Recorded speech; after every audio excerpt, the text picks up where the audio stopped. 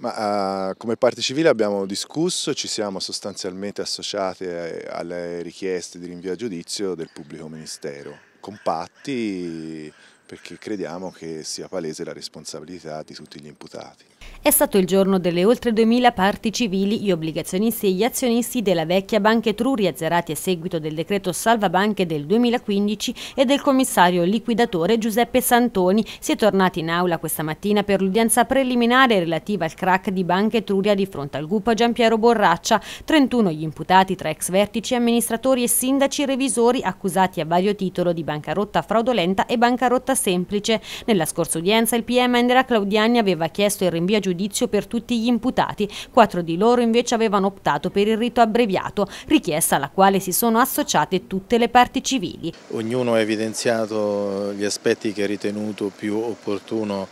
eh, amplificare o sottolineare, in particolare sono state evidenziate le attività di indagine che hanno portato alla conclusione della responsabilità evidente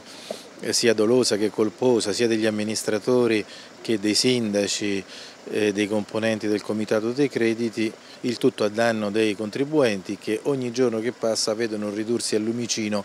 le proprie speranze di recuperare almeno in parte quello che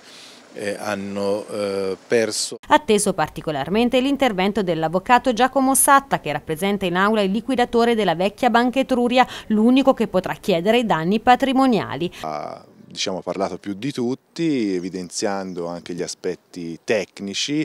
eh, ed evidenziando le violazioni delle normative eh, bancarie sull'erogazione del credito eh, da cui si palesa che sostanzialmente i soldi venivano dati senza un'adeguata istruttoria e quindi con la consapevole certezza o alta probabilità che quei soldi non sarebbero mai rientrati nelle casse della banca, fra l'altro soldi che poi venivano presi contestualmente e parallelamente dai risparmiatori con l'emissione delle obbligazioni. La prossima udienza è stata fissata per il 28 febbraio, giorno in cui prenderanno la parola le difese degli imputati.